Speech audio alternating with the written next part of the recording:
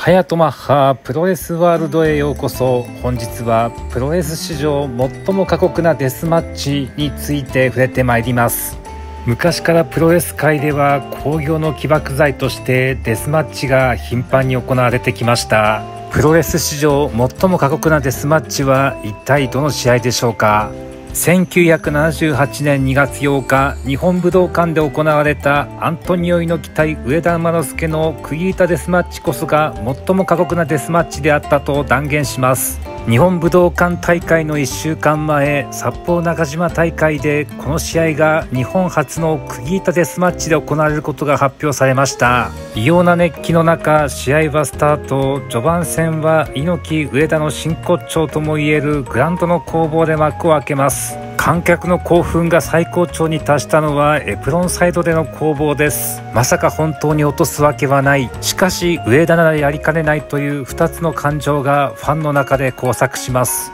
試合は猪木の徹底した左肘攻撃に対して上田のセコンドのシンがタオルを投入して終了するという予想外の展開に終わります。試合終了後もなお興奮の収まらない猪木はキラー猪木を発動し上田の腕をへし折りました。1週間前の札幌大会で武道館の猪木上田戦は究極のデスマッチだと宣伝されましたが嘘偽りなく究極のデスマッチでした。90年代以降頻繁にデスマッチが行われるようになり試合形式も過激になりましたがリング上で戦う2人に力量がなく信頼関係がなければその試合は単なる見せ物となりグロテスクなものとなってしまいます。釘板デスマッチは猪木と上田が戦ったからこそ究極のデスマッチとなったのです。最後までご視聴いただき誠にありがとうございます。本日はプロレス史上最も過酷なデスマッチについて触れてまいりました。